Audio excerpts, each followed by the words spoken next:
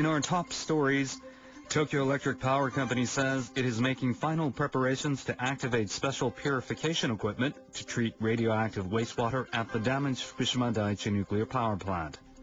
A number of Chinese naval vessels have passed through the international waters between the islands of Japan's southernmost prefecture of Okinawa.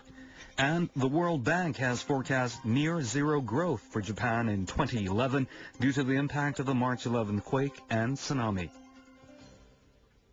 Now, the news in detail.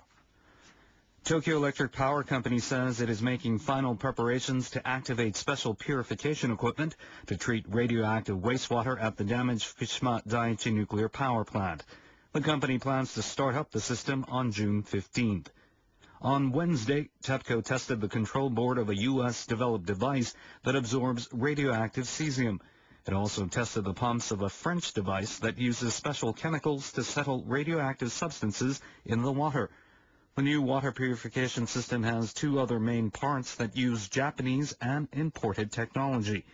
TEPCO says it expects the system to decontaminate about 1,200 tons of water per day before it is transferred to temporary storage tanks within the compound of the nuclear plant. More than 105,000 tons of toxic water is believed to have already accumulated in the basements of the reactors and their turbine buildings. Every day, more than 500 tons of contaminated water is added to the amount as TEPCO has to inject fresh water into the reactors to keep them cool. TEPCO will release air from inside the number 2 reactor building after lowering its intense radioactivity and high humidity, which have been hampering the work to restore its cooling system. The number 2 reactor building has 99.9% humidity and high levels of radioactivity, which make it hard for workers in protective gear to work inside it for long periods.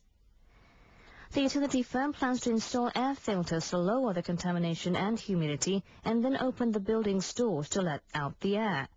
It hopes to install the filters by this Saturday, run them for about three days, and open the reactor building's doors sometime next week.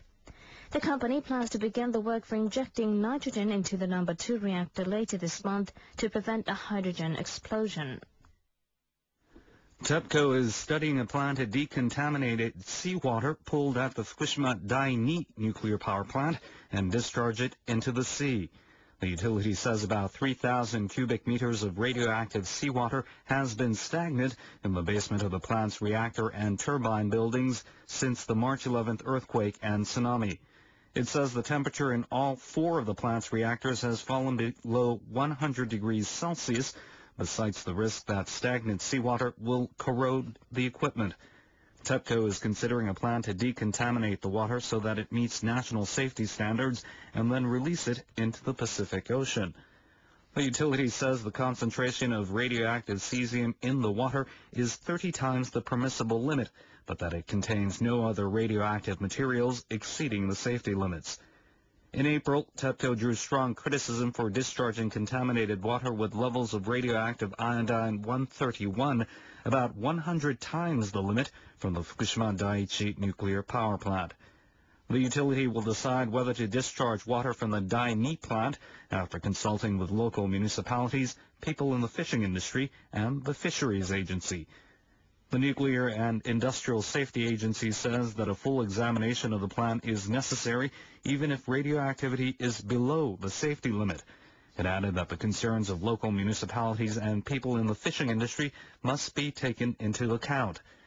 The Fisheries Agency says it cannot now authorize a discharge of seawater, even if the level of contamination is under the limit. The chief of the Fishing Cooperatives Association in Fukushima Prefecture expressed shock and bewilderment at the utilities plan.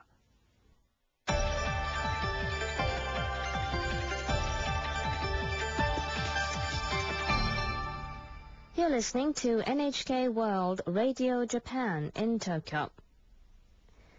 On May 22nd, the leaders of Japan, China and South Korea met in Japan and together they visited Fukushima Prefecture, one of the hardest hit regions in the March 11th earthquake and tsunami.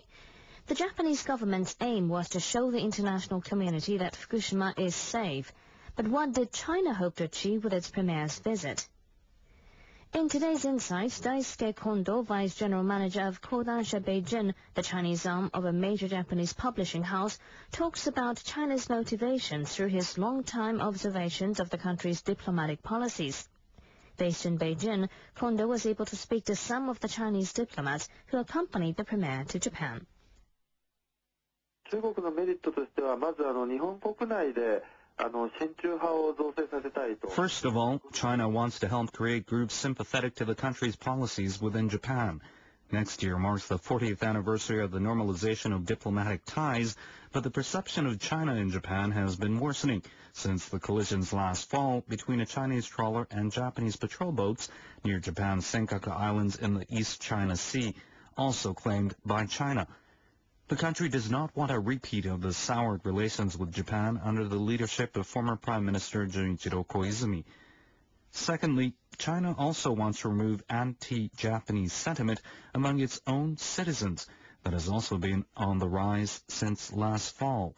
The Chinese government is concerned about the possibility that anti-Japanese sentiment will trigger an uprising that could in turn threaten the Chinese political system. China explained to the public that Wen visited the disaster-hit area in Japan to show China's appreciation toward Japan for the help it offered after the Sichuan earthquake three years ago. This strategy helped ease anti-Japanese sentiment in China to a great extent. China is now making great efforts to promote nuclear power generation. 28 nuclear power plants are under construction, accounting for 43% of all nuclear power plants now being built across the world. Premier Wen announced safety checks would be carried out at all nuclear power plants three days after the March 11th disaster. However, at the same time, China remains committed to increasing electricity output through nuclear power generation to 70 million kilowatts by 2020.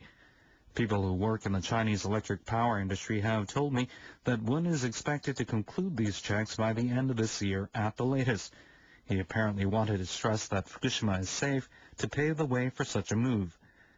Japanese reconstruction projects in disaster-hit areas were another reason for the Premier's visit to Fukushima, as China wants its companies to take part in these projects.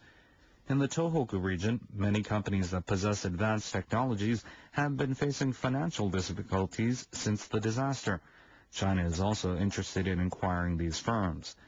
A Chinese delegation came to Japan in late May and met with Japanese travel agencies and local government officials to promote package tours to Japan for affluent Chinese. Separately, China also announced it will send a group to promote Chinese investments in Japan, as well as to invite 500 Japanese youths from disaster-struck areas to China. Details of these projects are now under discussion. In today's Insight, we talked with Daisuke Kondo, Vice General Manager of Kodansha Beijing, about the motivations of Chinese Premier Wen Jiabao's visit to Fukushima in May. A number of Chinese naval vessels have passed through the international waters between the islands of Japan's southernmost prefecture of Okinawa. The Japanese Defense Ministry's Joint Staff Office says it has confirmed that three Chinese naval vessels, including a supply ship, sailed 100 kilometers northeast of Okinawa's Miyako Island toward the Pacific Ocean early on Wednesday. A Chinese Sovremenny-class destroyer and four other vessels were also seen sailing the same route around noon Wednesday. The ships are now south of Okinawa's main island and heading southeast, apparently to conduct drills in the Pacific Ocean. The Chinese Navy has been conducting exercises in the Pacific Ocean since 2008, passing through Okinawa's main and Miyako Islands. The Defense Ministry says the self-defense forces are continuing to watch the Chinese fleet, believing that the Chinese Navy aims to improve its ability to conduct long-term activities in the open sea. Power generators featuring Japan's energy-saving technology have begun operations in India. The Tata Motor Factory in the western city of Pune on Wednesday began using two generators that run on diesel oil and natural gas. The generators originally ran only on diesel fuel, but a Japanese company remodeled them with about $3 million provided by Japan's New Energy and Industrial Technology Development Organization, or NEDO. NEDO says this is the first time for India to use a generator that can run on both diesel fuel and natural gas. The organization also says the cost of power generation is 60% less than conventional products. India's rapid economic growth has caused power supply shortages, prompting many factories to install diesel-powered generators. But with the price of diesel oil rising, natural gas is being seen as a more affordable fuel source. The Indian government plans to set power-saving targets for eight industries, such as steelmaking and aluminum refineries, in coming months. Japan hopes that the power generators will help promote its energy-saving technologies in India. The World Bank has forecast near, near zero growth for Japan in 2011 due to the impact of the March 11th quake and tsunami. The bank released the June 2011 edition of its report Global Economic Prospects on Tuesday. The report says Japan's GDP growth from April to June could end up almost the same as the annualized contraction of 3.7% posted in the January-March period. The report says this will be attributable to power shortages resulting from the accident at the Fukushima Daiichi nuclear power plant, as well as the disaster's impact on supply chains. The World Bank forecasts 0.1% growth for Japan in 2011, but it says the economy may pick up later in the year thanks to growing demand due to reconstruction. It projects that the Japanese economy will grow 2.6% next year. The report says global GDP is expected to grow 3.2% in 2011, thanks to high growth in emerging economies. But the bank also warns of future uncertainty, citing factors including a protracted negative impact from Japan's disaster, rising food prices, and fiscal deficits in some European countries. The International Monetary Fund's acting chief has urged Japan to reduce its huge public debts while recovering from the March 11th earthquake and tsunami disaster. John Lipsky was speaking with Japan's finance minister Yoshihiko Noda in Tokyo on Wednesday. Lipsky said he expects Japan's economy to grow 2.9% in 2012, up from an earlier forecast of 2.1%.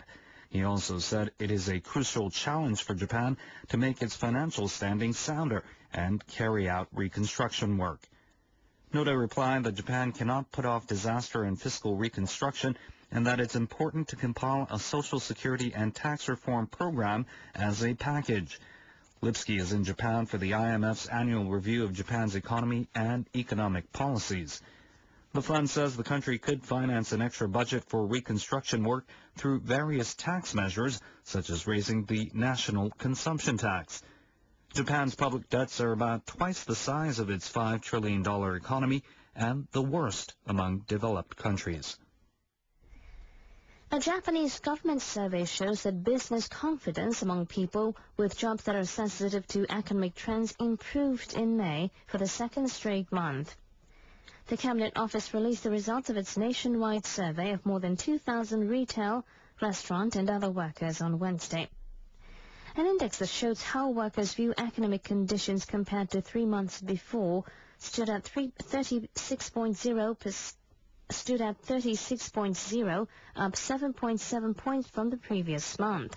The rise is attributed to recovery in store sales, travel, and the food service industry, amid a weakening of the trend to refrain from spending on leisure activities after the March 11th disaster. Also cited as a factor is rising demand related to recovery efforts and for energy-efficient products such as LED lights. Private credit research firm Teikoku Databank says 154 companies had gone bankrupt due to the March 11th disaster as of Tuesday. Construction firms accounted for the highest number of corporate failures, followed by hotels and inns. The businesses cited poor individual consumption as the main reason for their bankruptcy. Finally, let's take another look at the top stories out this hour. TEPCO says it is making final preparations to activate special purification equipment to treat radioactive wastewater at the damaged Fukushima Daiichi nuclear power plant. And a number of Chinese naval vessels have passed through the international waters between the islands of Japan's southernmost prefecture of Okinawa. And that was the news from NHK World Radio Japan in Tokyo. I'm Joseph Queenie. And I'm Keiko Kitagawa.